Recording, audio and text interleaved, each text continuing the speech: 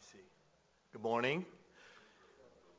Welcome to the Department of Medicine Grand Rounds. Today we have a visitor from neurology who's going to speak to you about this uh, theme. But before that, a, a, few comments about history so that we remember the people who got us to where we are. In 1697, 1697, quite a few years ago, Isaac Newton received and solved a problem provided by Jean Bernoulli. And Jean Bernoulli was a Swiss mathematician who put out a, math- a mathematic problem and Isaac, I guess, got it, sat down over breakfast, and finished it. And at age 55, decided, you know, I'm gonna I'm gonna publish this, but I want the publisher to put publish it anonymously. And this is where the famous term comes. But but the brilliant originality of the work betrayed his identity. For when Bernoulli saw the solution, he commented, "We recognize the lion by his claw." In do, solving that problem, Newton also developed a new branch of mathematics called calculus of variations. About 200 years after that, 1896, was the death on this day of Alexander Macmillan. And Alexander Macmillan was a Scottish publisher. He was not a physician, he was not a scientist, but he published Nature. And the first edition of Nature was in November 4th of 1869. I want to read you the mission of that journal, which is true today to place before the general public the grand results of scientific work and scientific discovery, and to urge the claims of science to move to a more general recognition in education and in daily life. And that mission still remains today with that journal. We also remember eight, in 1848, on this day, Henry David Thoreau delivered a first draft of a document that, as soon as I mention it, many of you will know. But I was reminded about this because I saw so many people marching in Washington on Saturday, and he wrote his best known work called Civil Disobedience. And he wrote this after being in jail because he decided not to pay a, toll, a poll tax that was meant to support America's war in Mexico. Nobody cared about his work, but later on it got quite a bit of prominence because he really worked on the concept of passive resistance, and it's thought that his writings really influenced Gandhi and Martin Luther King. But today is about neurology, okay? And, and I think the, the initial title has something about hallucinations and things like that. So I, I want to remind you about three people very quickly. Thomas Willis was born this week back in 1621. He was a English physician. He did a lot of contributions about the anatomy of the brain. He injected wax, liquid wax, in the brain and was able to see the circle that was later called the circle of Willis. We also remember that on this week was the birth in 1903 of John Eccles, and I'm not sure how to pronounce this E C C L E S, Eccles or Eccles. Uh, and John Carew Eccles was an Australian physiologist who won the Nobel Prize uh, for medicinal physiology in 1963. He discovered the chemical means by which impulses are communicated or repressed by nerve cells. And basically, he injected little tiny electrodes and could watch these impulses moving from one cell to another. And finally, we remember Ewald Hering, H E R I N G, who died on this day in 1918 at the age of 83. Carl Ewald Constantine Hering was a German physiologist and psychologist who worked a lot on the physiology of color perception. And he did quite a bit of work on optical illusion. And with that, I want to introduce you our speaker of the day, Kathrin LaFaver. And we thank you for being here. She is an assistant professor and director of the Parkinson's and Movement Disorder Clinic at the University of Louisville. She obtained her medical degree at Albert Ludwigs University at Freiburg, Germany. From that, she moved on to the States and she did internal medicine for one year, as you usually do, to move on to neurology, uh, which she did also did at Mayo Clinic. And she did a clinical fellowship in movement disorders at Beth Israel in Boston. And from there, she went to the NIH, to the National Institutes of Neurological Disorders and Stroke, where she worked under the mentorship of Mark Hallett in movement disorders. And the university was lucky enough that in 2013, she was recruited to University of Louisville, and she's currently the Raymond Lee Lebby Endowed Professorship in Parkinson's disease research, which she's going to talk to you about today. She's engaged in a number of clinical trials and other work, and she's uh, written about Parkinson's disease and other uh, movement disorders. She's very passionate about this um, area, and today she's going to talk to us about this so that we all internists from now on know to treat the condition or refer to her, one of the two. Thank you and welcome.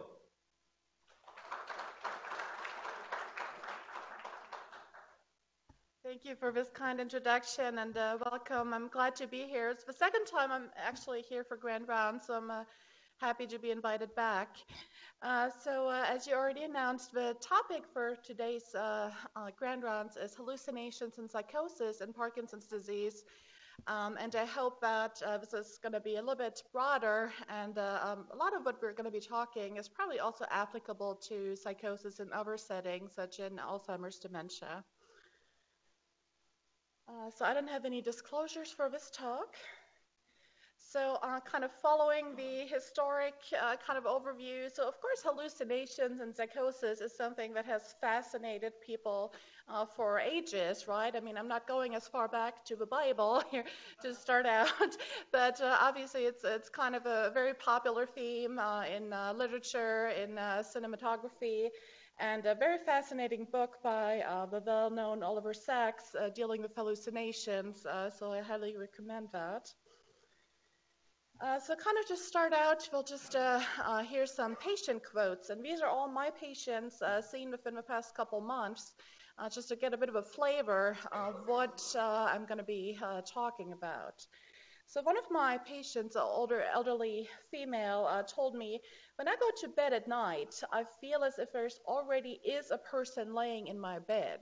So obviously something very frightening, right? Um, and uh, another uh, of my patients told me when I open my drawers, getting dressed in the morning, etc., it seems like there's spiders crawling out. I mean, the spiders crawl up to the walls and ceiling, and it's just kind of very disturbing.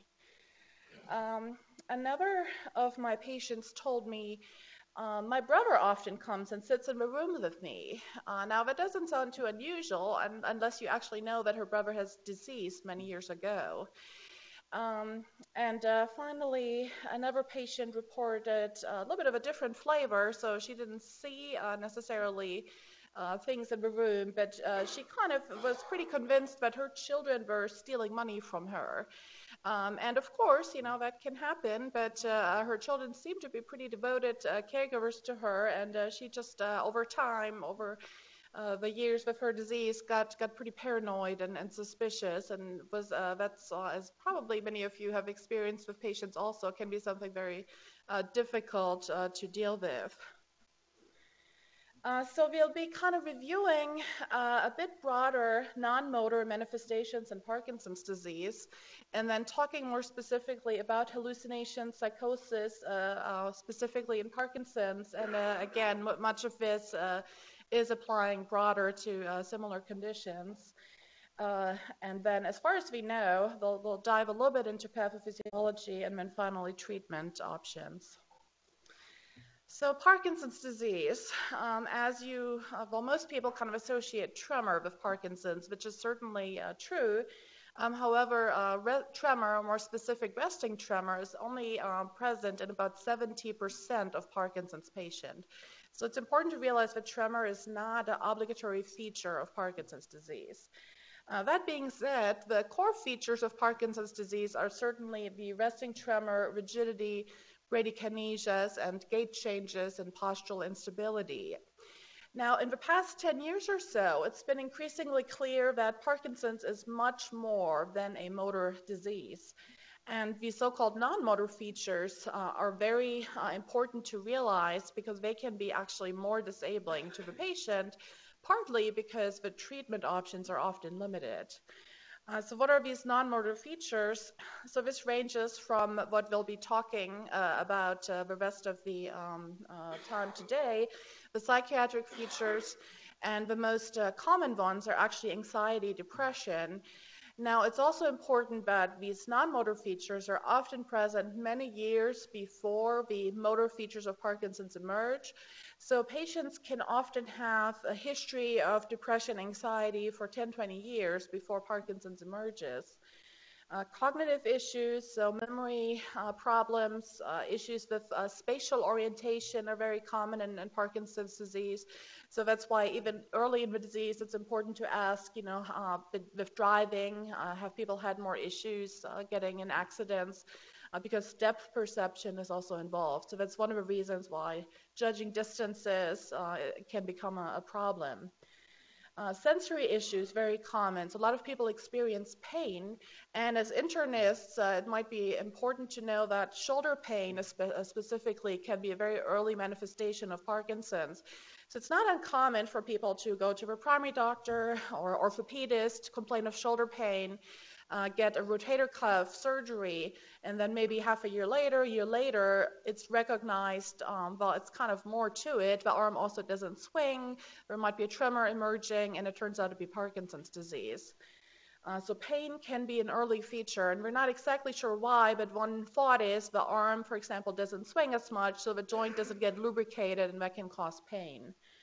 Uh, and certainly just the, the lack of dopamine, uh, people later in stages of the disease, when the dopamine uh, wears off and medication wears off, that often is a painful state.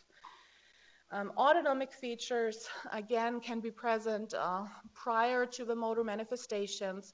Uh, specifically, constipation is very common, uh, loss of smell, um, urinary issues, bladder uh, urgency, frequency, very common issues.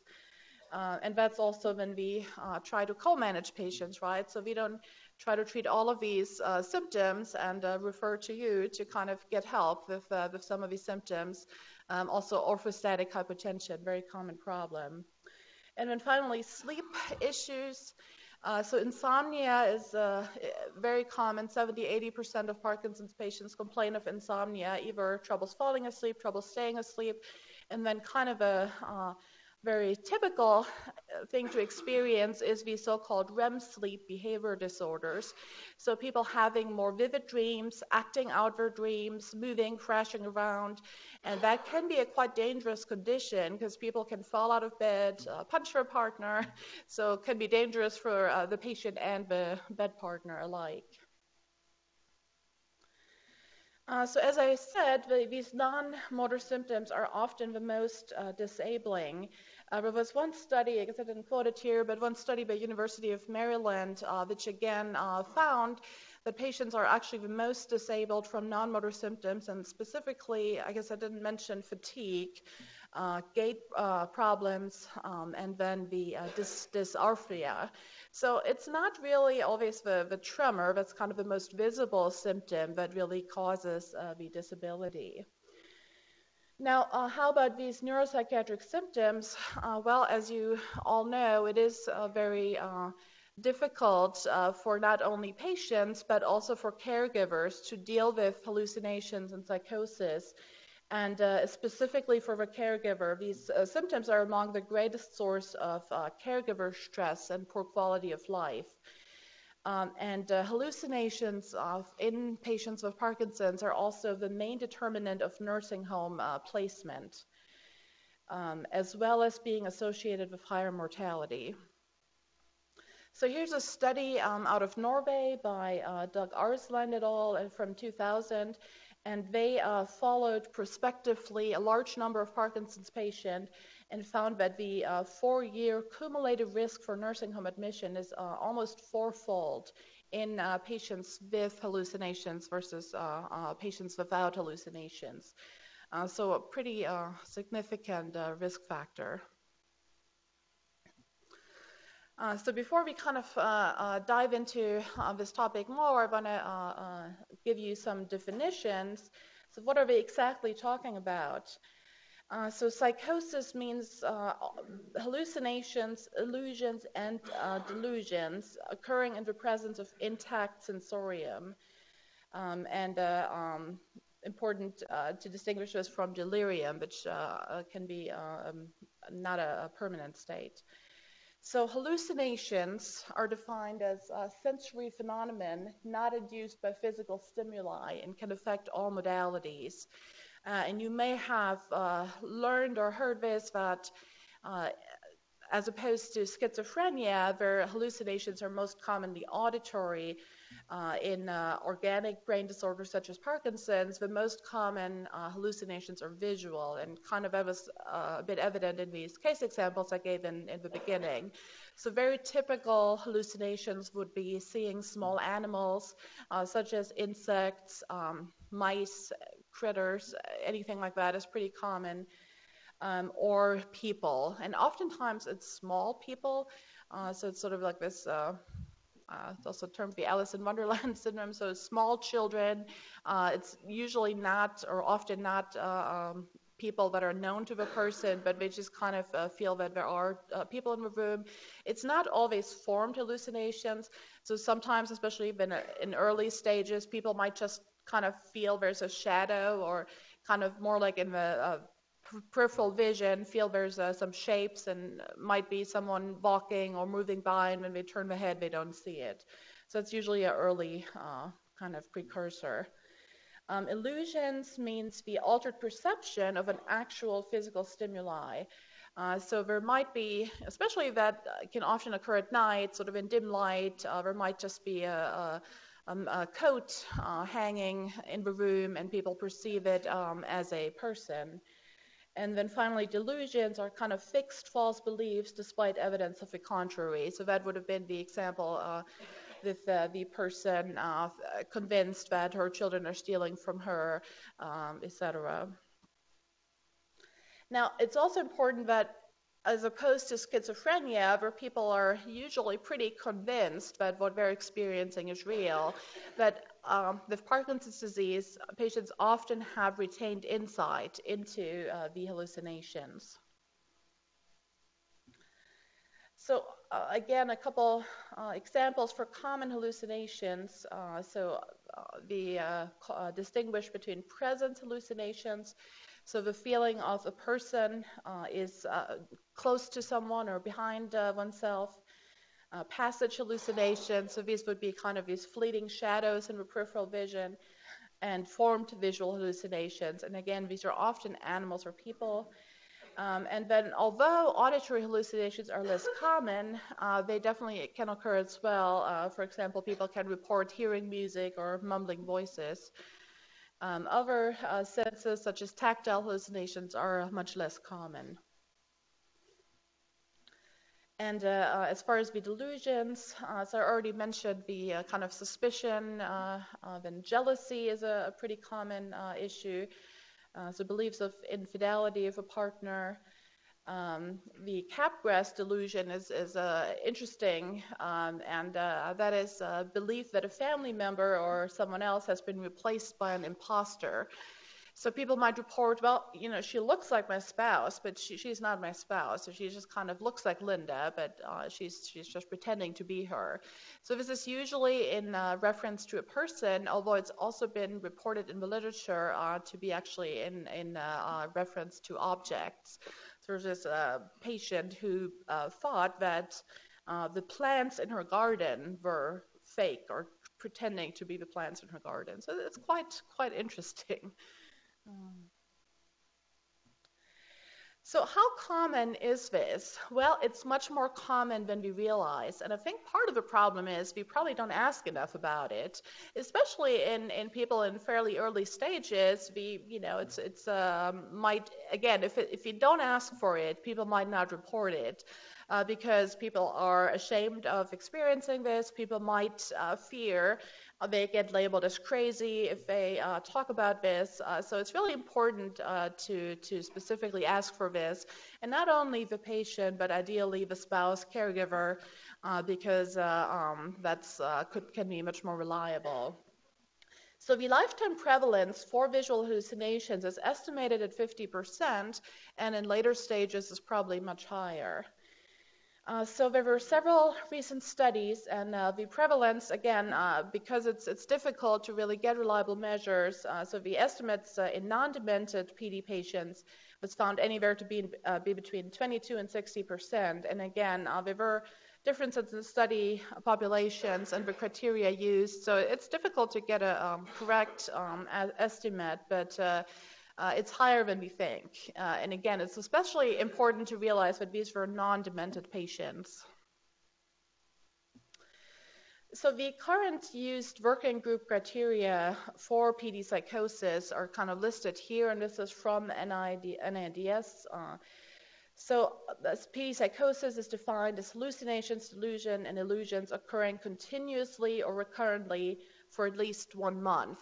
So again, this would be the main distinguishing feature from delirium, which we obviously see much more commonly, especially here in the hospital. Um, it's also important uh, to make sure that these symptoms are not um, occurring um, to um, uh, medication uh, or other kind of uh, infection and things like that. Again, they're all reversible. And uh, finally, symptoms should not be accounted for by a primary uh, psychiatric, psychiatric disorder or dementia of the Lewy body. So some of the risk factors, uh, certainly increasing age uh, is a risk factor. Uh, duration and severity of Parkinson's disease. So certainly this is more common as a, a disease gets more advanced. Uh, cognitive impairment, dementia, as well as depression are risk factors. Uh, sleep disturbances, and then certainly medications, and especially with anticholinergic and uh, dopaminergic mechanisms. Um, so, what do we know what is really causing uh, PD psychosis? Well, anytime uh, there's more than three theories, uh, it kind of more or less means we don't know. Uh, despite that, I'm going to walk you through some, some hypotheses. So, uh, people think there might be dysfunction of the limbic uh, structures, and that certainly occurs in especially more advanced stages of Parkinson's disease. Um, so one of the hypotheses is that uh, receptors get desensitized by the medications we use to treat Parkinson's disease, which act on the dopamine receptors, and uh, um, that can can lead uh, to hallucinations. Uh, visual processing deficits. Uh, so I mentioned uh, um, earlier that uh, depth perception is affected in Parkinson's disease, but other um, issues are the, the, visual processing are affected as well. So visual um, acuity is often decreased and color vision. Uh, and then oftentimes, because these are elderly patients, uh, we have presence of other eye disorders, macular degeneration, etc., um, and that uh, has a higher, is uh, associated with higher prevalence of hallucinations as well. Uh, sleep disorders. So I mentioned that uh, REM sleep behavior disorders are very common in Parkinson's, and there's an interesting theory that people might be experiencing REM sleep intrusion during the wakeful state, which could be a correlate of uh, hallucinations.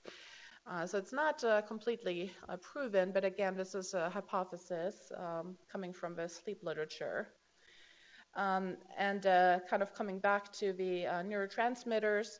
Uh, so just uh, um, this being uh, in a dopamine depleted state and then being often in dopaminergic, serotonergic, and uh, acetylcholinergic medications, kind of coming back to the medication induced um, cause for hallucinations. And finally, structural abnormalities, so deposition of Lewy bodies in both the areas dealing with uh, visual perception and uh, emotions uh, is uh, probably certainly the, the most uh, uh, convincing cause underlying the hallucinations. So, what are these Lewy bodies? well, Lewy bodies are really the hallmark of Parkinson's disease. Um, and as far as we understand, um, these are bodies that consist mostly of abnormally folded alpha synuclein. Uh, so alpha-synuclein gets misfolded for a number of reasons, and if we would completely understand it, we would be hopefully able to cure Parkinson's, and uh, we certainly are uh, closer now than we were 10 years ago. Uh, so there are a lot of different reasons. Well, for example, one of the genetic causes of getting Parkinson's disease is a, a triplication of the alpha-synuclein gene. So just uh, um, too much alpha-synuclein can cause uh, misformation. And then probably environmental influences, uh, such as pesticide exposure, uh, can, can trigger this as well. Um, the, these Lewy bodies accumulate in the substantia nigra and other parts in the brain and are uh, again thought to be responsible for the uh, cellular death and uh, neurodegeneration in Parkinson's disease. Uh, what we have come to understand is that these Lewy bodies seem to be prion-like uh, particles and seem to be able to spread from cell to cell. And that's really a concept that's been more commonly accepted, not only for prion diseases, but for many neurodegenerative diseases, uh, such as Parkinson's, Alzheimer's, and Huntington's disease.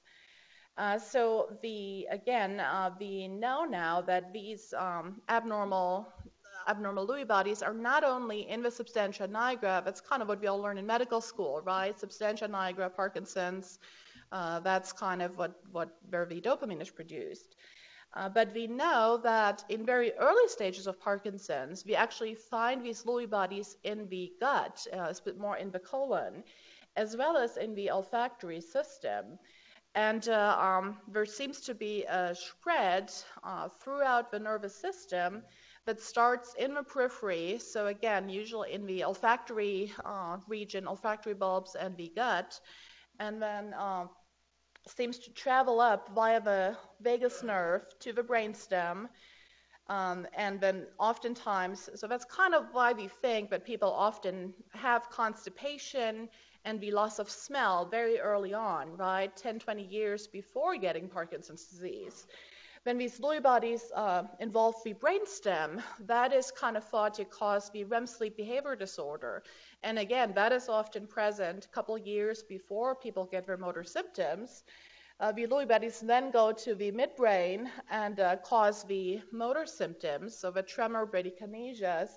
And then finally, in later stages, spread throughout the cortex and the limbic system, and that is when we would expect the emotional dysregulation, the memory issues, and, and just kind of more progressive disease in general.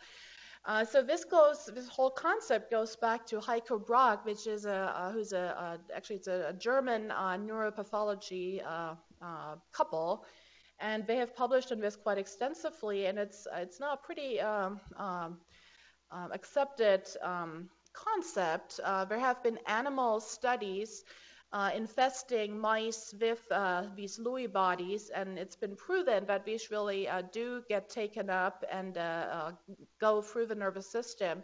And interestingly, if they feed animals Lewy bodies and actually cut the vagal nerve, they did not develop uh, the Lewy body spread. So maybe, just maybe, in the future, um, we would be have ways to detect these very early forms of Lewy bodies, and uh, uh, maybe uh, va- vagal nerve interventions could be could be helpful in actually preventing the spread of this.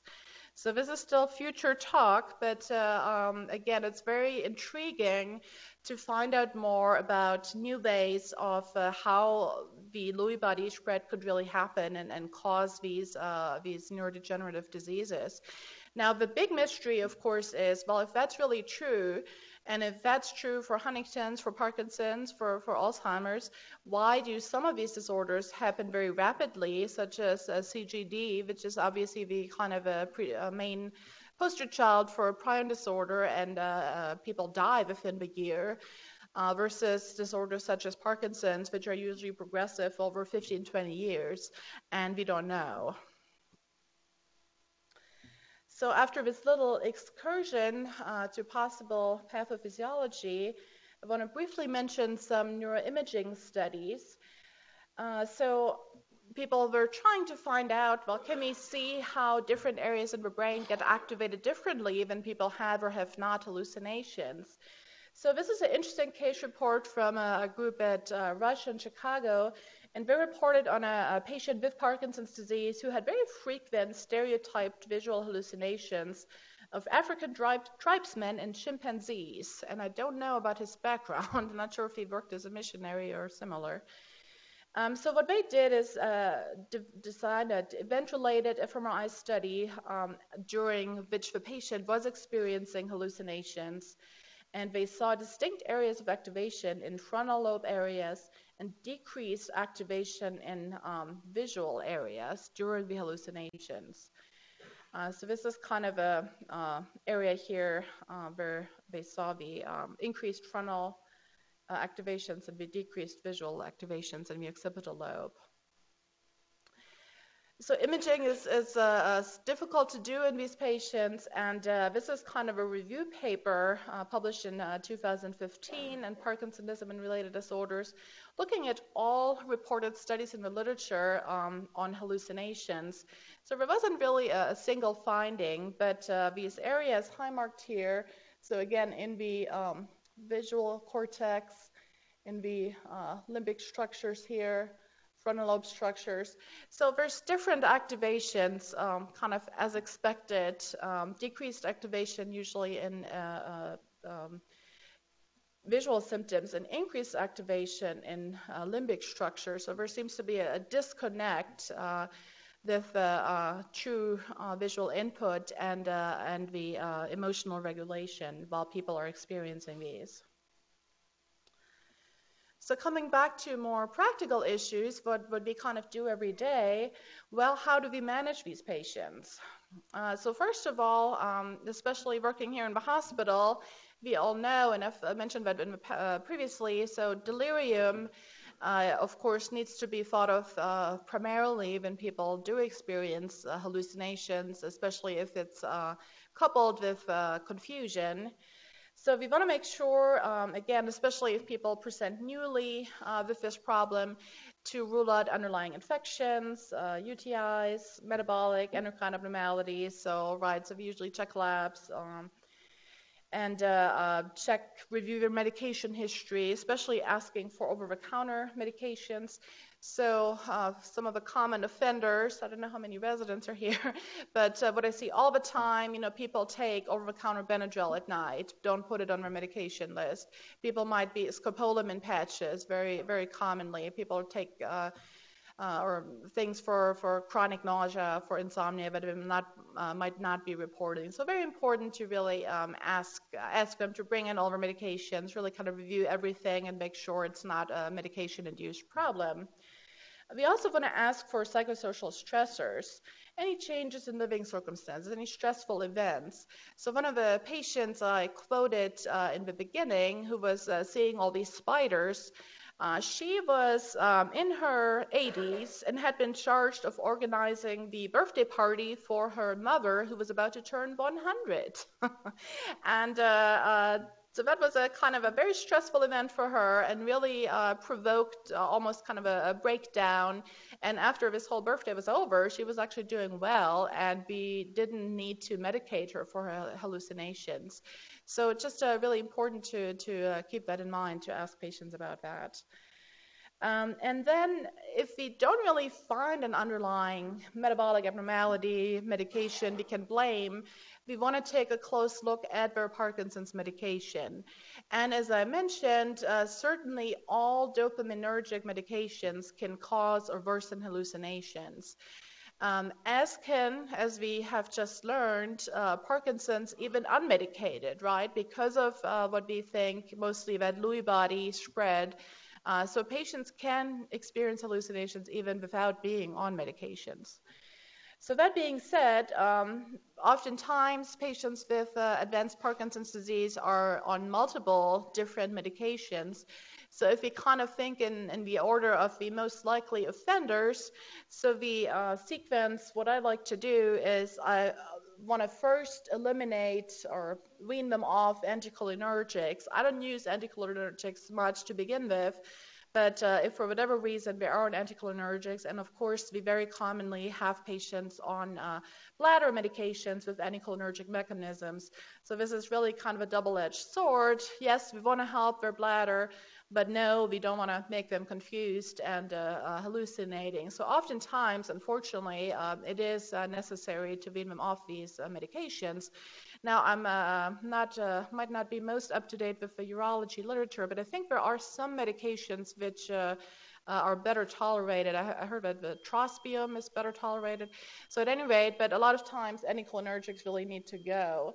Um, otherwise, amantadine is also um, a medication, partly due to its anticholinergic properties, that, that can cause worsen hallucinations. Uh, and then MAO-B inhibitors, dopamine agonists, and levodopa. So levodopa um, is the most effective medications in treating Parkinson's and uh, the least likely to cause side effects. So that's kind of my cornerstone of the therapy. Everyone else is, is kind of optional around it. And uh, uh, again, if people are having side effects and prominent hallucinations, I really uh, uh reduce uh, and wean them off. So especially dopamine agonists are uh, kind of falling more out of favor. So we're used to be used to be kind of thinking probably 10 years ago, we really need to start people on dopamine agonists. People, um, levodopa should be reserved until people, quote unquote, really need it. Um, and one of the, the main uh, thought behind it was avoiding dyskinesias. Uh, because dyskinesias um, are somewhat more likely to appear if people are started early on levodopa and especially in high doses. Now, we have learned that dopamine agonists really come with their own set of problems, make people much more sedated, and especially troublesome side effect can be impulse control disorders. Uh, and I don't know, who, who have, uh, hands up if you have seen a patient on impulse control disorders with um, dopamine agonists. So impulse control disorders meaning hypersexuality, gambling, uh, internet addiction, um, spending too much money. I, I, only saw two or three hands. I don't. You've probably seen people, even if you don't realize, because people are not uh, very forthcoming in telling you these things. But uh, it's it's a very common issue and should also be kept in mind if you have people on a dopamine agonist for restless leg syndrome, for example, because it can really uh, be very um, uh, dramatic for patients. And again, one of these things, people are not volunteering.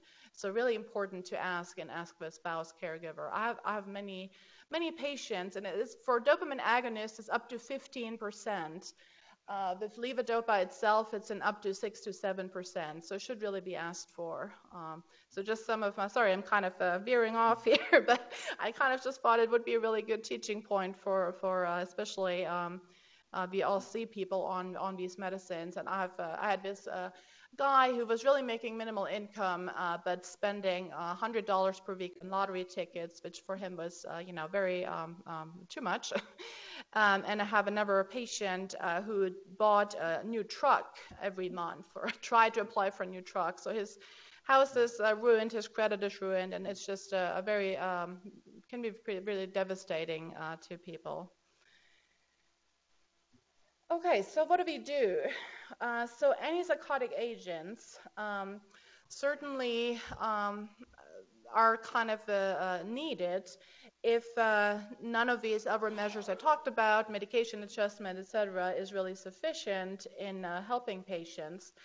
Now, as you know, um, antipsychotics now all come with a black, book, black box warning for higher risk of mortality in the elderly with dementia uh, due to um, arrhythmias.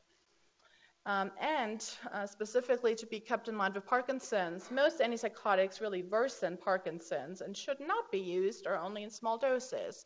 So, especially the common, uh, the typical neuroleptics such as um, haloperidol, risperidone, really can uh, worsen Parkinson's patients and should not be used. So, what do we use? Uh, quetiapine, so brand name Seroquel, has a greater affinity for serotonergic uh, to um, A uh, receptors than the dopamine receptors. So quetiapine is kind of the go-to medication for um, hallucinations and psychosis and uh, uh, seems to be the most favorable profile in terms of the uh, motor effect on Parkinson's. Um, we don't have much literature, much clinical trials really to support its use. There have been several studies done, so specifically two double-blind trials, and they actually did not show significant improvement versus placebo. Now, one of the problems is that with most of these trials, the placebo effect is pretty high, so that probably makes it makes it uh, difficult.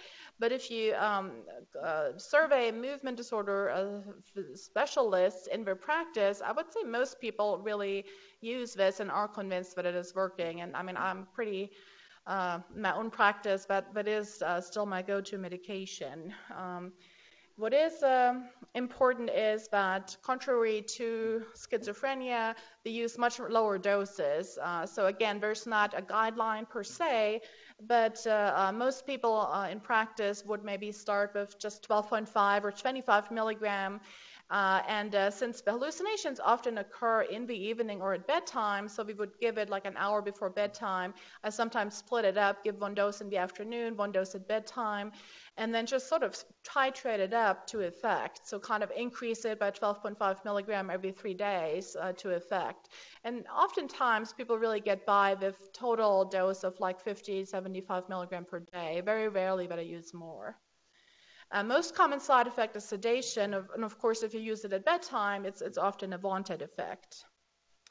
Now, the best evidence out there is actually for clozapine or clozaril, uh, and this is really the only antipsychotic with unequivocal recommendation for the treatment um, of PD psychosis. It's not FDA approved for this indication, and of course, what really makes it uh, difficult to use is uh, the pos- possible side effect of uh, agranulocytosis. So it does require uh, regular blood draws, and you also need to be specifically registered to prescribe it. Now, there is a new kid on the block. Uh, so there is this medication called pimavanserin or Nuplazid, and this is uh, finally a FDA approved indication for Parkinson's hallucinations and psychosis. So this has been available since June 2016. Um, now, with a lot of these uh, new medications coming out these days, it is unfortunately only available through a specialty pharmacy. Uh, so it's a bit of a, a, hassle to get it initially started. Um, however, um, it uh, again, it is the only medication now that is FDA approved for uh, Parkinson um, hallucinations and psychosis. So what makes this medication different? Not a pharmacologist, but uh, this is an inverse agonist to this uh, serotonin 2A receptor, and what I'm told is that inverse agonism uh, really is a, a, almost a more complete uh, blockade of, uh, of this uh, medication. So it kind of empties um, the kind of uh, depletes uh, um, the serotonin and uh, can't uh, can't bind. It does not interact with dopamine receptors, so this is a very uh, selective uh, mechanism on the serotonin re- receptor. so the medication is really thought to provide improvement of the, the specific hallucination symptoms without causing any dopaminergic problems. So I'm kind of showing you some uh, some of the uh, uh, details from the uh, study that led to its approval. So it was kind of an interesting uh, setup for this study because they had a, a two-week uh, placebo lead-in phase to kind of get rid of this high placebo effect with many of these trials. So they had um, 90 people in the placebo arm, 95 placebo on medication, and again, for two weeks, everyone got placebo, and then um, uh, four more weeks, people uh, got uh, either placebo or study drug. Uh, the uh, outcome was measured by the so-called uh, SAPS-PD, so looking for visual hallucinations, tactile, auditory, um, as well as these delusions, which are common. And usually a 2.3 change would correlate to a one point change in the clinical global uh, outcome scale. So, how do the results look like? So, this was kind of the um, two week lead in phase, and uh, so it's kind of interesting. So, it really kind of uh, very parallel lines here between the placebo group and the treatment group. So, reduction in um, hallucinations just with the uh, placebo phase. Um, however, um, over the rest of the study, there is a, a, a significant distinction between uh, the placebo group, which kind of uh, stays here, and the treatment group, which has further uh, reduction in symptoms. So, um, so again, this is a medication now which is available. Has anyone used it here in the audience? So it's probably still pretty much in hands of uh, uh, movement neurologists and psychiatrists uh, use it uh, now as well. Uh, so uh, we'll kind of see where it ultimately finds its place. Uh, right now, again, it's the only FDA-approved medication, but unfortunately, there's no head-to-head trials with quetiapine, for example. So we don't really know uh, is it, you know, how much better it is, or if it is better. A quick word on uh, cholester- uh, inhibitors. So there is some um, evidence that rivastigmine might also be helpful for um, treatment of uh, PD psychosis. And a lot of patients are on this already, right, because we use it for treatment of dementia. So uh, we're not really, um, it's not quite as powerful, most likely, the effect, but uh, uh there is probably a, a study uh, sponsored by the NIH coming out soon, which will uh, look a little bit in more detail. Uh, so it might uh, be a good option. People kind of might be benefit from this medication anyway. It, it could also have a, a positive effect on hallucinations. So, kind of putting this all together, I just want to finish with a case report. So, we have a 74 year old woman with a six year history, tremor dominant Parkinson's, REM sleep behavior disorder, anxiety, and mild cognitive impairment. She reports seeing bugs in her peripheral vision fields and mice in the corner of her bedroom at night over the past month. Uh, she's also convinced that there are people down in the living room talking at night. Uh, she has hypertension, diabetes, and glaucoma, and she is on uh, carbidopa, levodopa, 25 200, two tablets four times a day, rasagiline, lisinopril, insulin, and timolol eye drops. So, what are we going to do with her? Anyone? I don't know. I don't know the people, so I can't pick on people. so, as, a, as we kind of alluded to, we certainly want to do a medical workup for anyone presenting with new hallucinations. Uh, so certainly making sure she doesn't have hyponatremia, urinary tract infection, etc. We want to consider lowering her dopaminergic medication if possible. Of course, there's always the downside, but lowering medications will worsen her Parkinson's potentially. Um, and so this particular patient was started on pimavanserin. Now this medication is not titrated up, uh, so uh, it comes in 17 milligram tablets, and the usual dose is two tablets per day. You just start it and need to tell the patient it takes two weeks to uh, have effect. Uh, but there's no titration for this. Uh, so she was started med- this medication and did experience good benefit in symptom reduction after about a month. Um, this is a, well, I, I, kind of removed the uh, company, so I think it is uh, compliant with regulations, but I just kind of thought it was a bit of a, fry, a scary day. so I don't have people uh, reporting chameleon to me, so I think the company got rid of this. Uh, it looks a bit looks a bit scary. But uh, at any rate, I think it is important to really raise awareness of this problem because I think it's really something that patients underreport and we don't really ask uh, enough, especially in non-demented patients, which are, as you now know, are experiencing hallucinations in a greater percentage than we realize. Uh, so, um, as you uh, have all uh, heard last year, Robin Williams uh, died and was found at autopsy uh, to suffer from a very uh, kind of a seem- seemingly an aggressive form of Lewy body dementia, uh, which you now also know is kind of an overlap with Parkinson's disease. And uh, his uh, um, widow, Susan Schneider Williams, has really done an amazing job of now raising awareness of this problem and has become a wonderful advocate for the uh, American Academy of Neurology and their funding uh, BrainPAC uh, Society. So uh, she has actually written an editorial for the uh, Journal of Neurology last fall, and I just want to kind of quote from this because I think it's just very uh, illustrative how people really suffer from this and how this really um, affects, um, you know, everyone, uh, knowing the, the patient. Robin was growing very. The Parkinsonian mask was ever present, and his voice was weakened. His left hand tremor was continuous now, and he had a slow, shuffling gait. He hated that he could not find the words he wanted in conversations. He would thrash at night and still have terrible insomnia. At times, he would find himself stuck in a frozen stance, unable to move, and frustrated when he came out of it. He was beginning to have trouble with visual and spatial abilities and the way of judging distance and depth. his loss of basic reasoning just added to his growing confusion. And later on, she says, while he never reported hallucinations, uh, she kind of very much suspected uh, that he was experiencing them.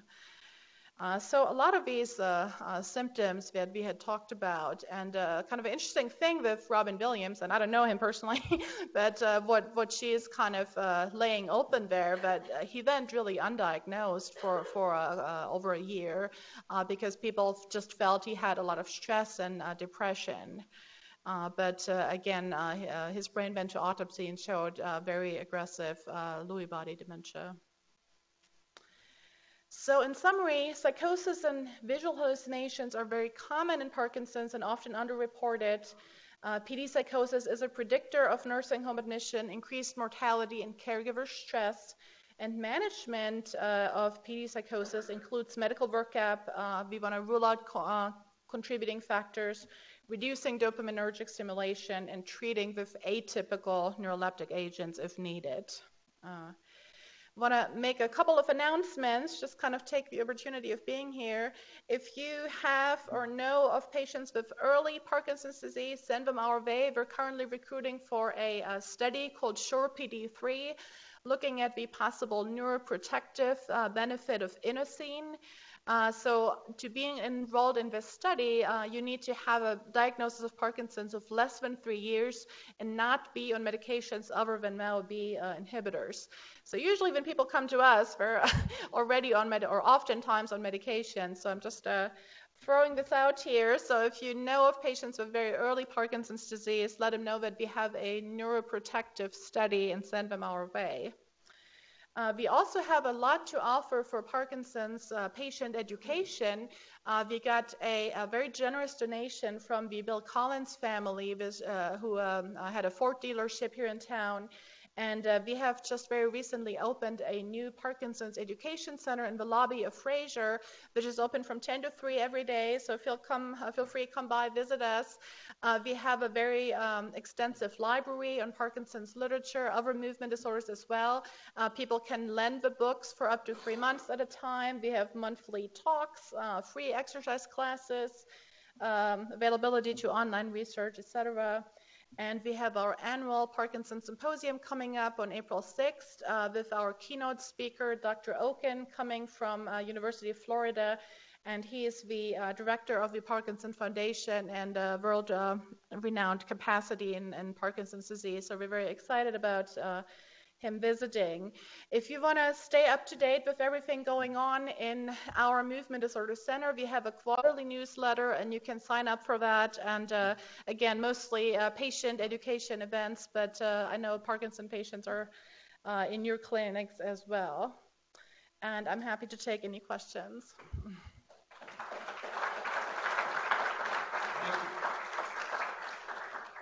Thank you. Thank you for that discussion couple of questions, then we'll move to the audience, but fairly quickly, although this may take a little long.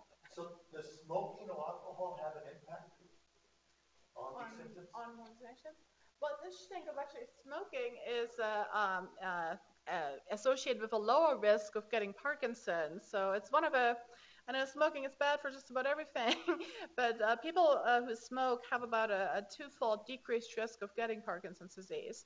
So as far as the hallucinations go, so obviously people who abuse alcohol, you know, uh, experience uh, hallucinations. Uh, so, but this is, I mean. Uh, usually, um, we don't see much alcohol abuse in, in our Parkinson's patients.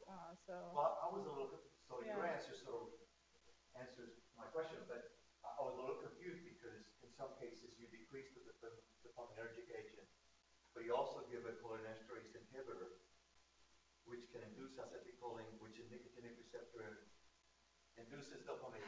And I and I was confused by that. Yeah, it's a good point. So it is kind of felt that this uh, this dementia and MCI, you know, as it, it, you know, there needs to be more acetylcholine, but uh, uh, it's a good point. So I guess it just kind of points to we don't really understand all the complex interaction, and it's more a balance and not kind of a simplistic, you know, too little, too much. so. Um,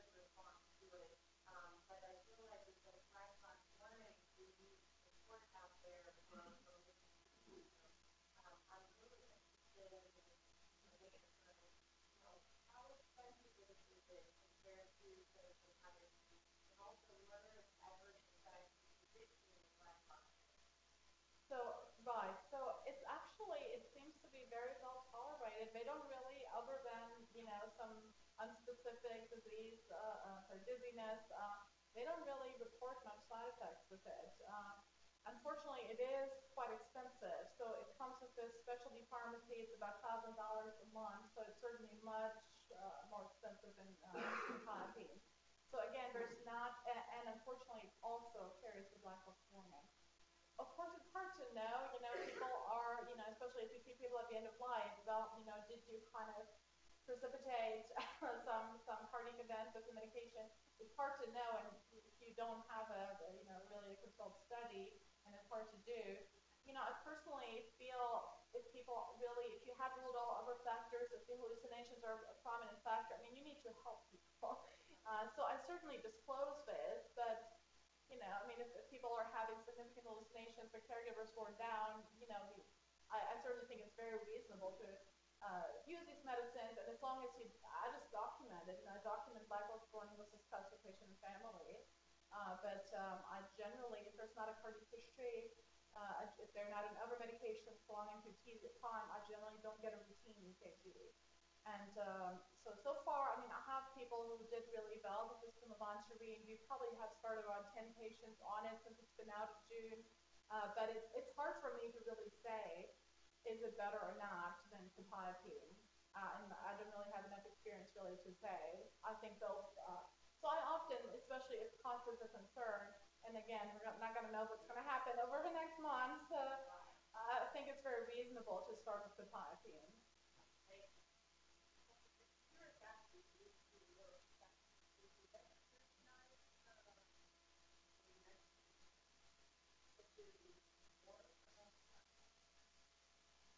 You know, I don't have uh, conclusive uh, data really on, on, on this, but uh, it's actually thought that maybe reducing um, uh, red meat intake and, and certain other uh, factors could, could be uh, better.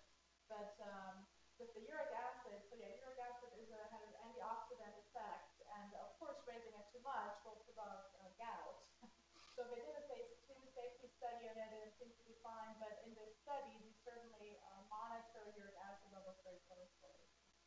Don't take away our remedy. so, uh, centers and movements were common diagnosed with questions about movement for birth, neurology, and are you diagnosed with those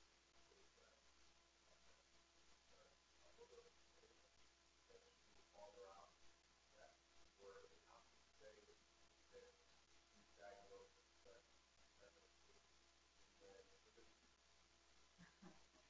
so, you know, I think it depends. And I think ultimately, uh, if, you, if you're pretty, if it's not pretty uh, typical uh, case of Parkinson's and um, they kind of seem to respond to medication, I think I think especially in early stages, patients can certainly be managed by um, primary care, internist. Um, I think ultimately patients benefit from seeing a movement disorder uh, specialist and even just for like a second opinion and uh, again kind of access possibly to studies, just information. So we're always happy to you know see patients and uh, and uh, we're also happy, especially for people who don't live in town, to just them once a year, you know, co-manage with uh, local providers. Uh, so you can certainly um, always refer patients to us for a second opinion and uh, we can always uh, um, you know be happy to work collaboratively. But again, I think it's important. I mean, there's so much that Parkinson's affects, and we have a lot of resources now, like I said, just for patient education. Uh, so certainly for people to know about this, I think is always advantageous. I was.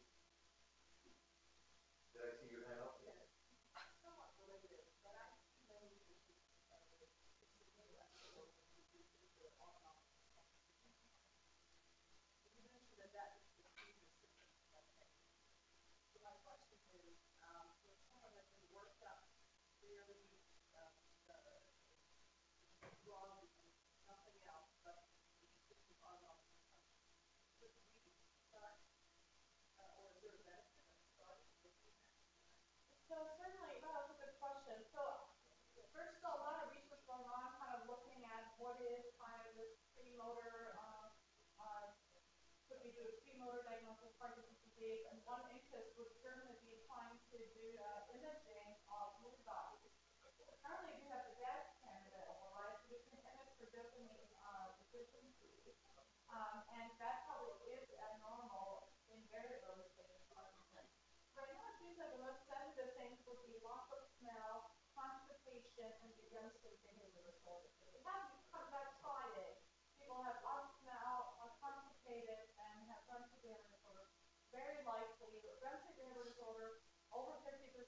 develop Parkinson's in the next five years. Um, now, autonomic dysfunction itself, I would say, is too unspecific. And certainly, if anything, dopaminergic medication would actually worsen that. Uh, because, uh, yeah, so, so that would not be uh, probably good advice for them. I know you talk about the autonomic um, dysfunction with disease, but at what point do you determine, I know this is like a long systematic, how is that diagnosis? Yeah, so that's a good point. So the question is really, so how do we know if we have idiopathic Parkinson's disease or uh, Parkinson's versus atypical Parkinson's, such as multiple system atrophy? And I didn't talk about this today, but so yeah, so it's, it's certainly a continuum, and uh, we don't have a way of really making a definitive diagnosis without doing a brain autopsy, a brain biopsy, uh, because uh, the pathology looks different, multiple system atrophy. But essentially, patients with multiple system atrophy can certainly have Parkinsonism that uh, have more prominent um, autonomic features, kind of like the ones mentioned.